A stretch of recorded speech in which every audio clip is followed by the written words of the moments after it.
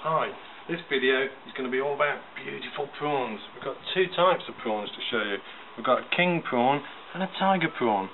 The tiger prawn, you can tell the difference because the darker shell and also on the last segment of the prawn there's a black stripe there. On the king prawn it's a clear last section of the shell. We're going to show you how to fully peel a prawn. We take the prawn, hold it in your hand holding the head and the tail close to the join. Quickly spin the head and the tail in opposite directions and the head will just pull off. Lie the prawn on, the fing on your fingers with the underneath of the shell towards you and then we just roll the shell over the top of the prawn very carefully with our fingers all the way to the tip of the tail and then we can roll the prawn out of its shell and also give it a tug at the tail and there is a totally peeled prawn. The first way we're going to show you how to remove the vein, which is the little line that runs all the way around the back, is to take your knife and gently cut through the back of the prawn, open the prawn, and the vein will be sat in there, and you can pull the vein out. I'll just show you the vein on the table, and there you've got your beautiful peeled prawn. We're now going to show you a different way, which is to take the prawn, we'll this time work on the tiger prawn. We're going to remove the head the same way, a quick spin in opposite directions.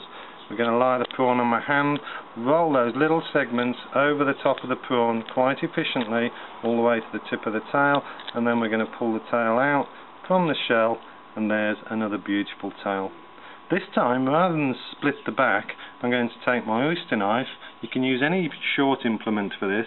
I'm going to, on the second join of the two segments, take my oyster knife, push it through the flesh a few millimetres into the prawn, very gently pull my knife backwards and there's the vein and we can pull the vein out from the middle of the prawn.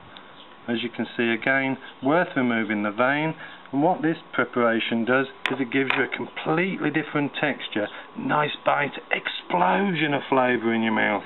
With this one, there isn't the explosion, but there is the deep, beautiful shellfish flavour. Next one that we're going to show you is actually a peeled tail on. We're going to take the prawn, twist the head and the body in different directions, roll the segments of the shell over the top of the prawn. But we're going to leave that last segment on. We're going to turn the prawn and remove the shell so that we have what we call a tail on presentation. I'm again going to split the back of the prawn with my knife, open the back of the prawn up, cut into the flesh of the prawn.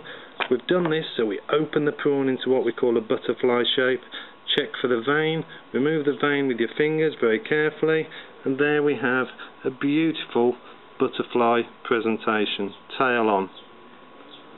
Now we're going to show you a final one, which is a nice way of cooking whole prawns. Rather than ripping the head off, what I'm going to do is I'm actually going to start to remove the shell with the head on the prawn. I'm rolling the segments over the tail, leave the tip of the tail on, and remove that little bit of the shell that covers that beautiful bit of flesh in the middle. Carefully going around the head, leaving the head still joined to the prawn.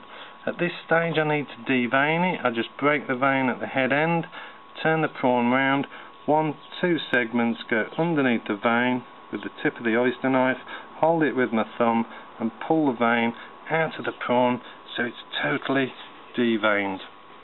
Now the prawn is ready to be skewered. What we're going to do is push the skewer through at the tail of the prawn, push it through into the head of the prawn, get the nice shape on the skewer and that's an amazing way of barbecuing your prawns. So once again, we've got the barbecue prawn, we've got the butterfly tail on prawn, we've got the peeled prawn with the split back, and we've got the beautiful prawn with the closed back. Completely different ways of presenting prawns.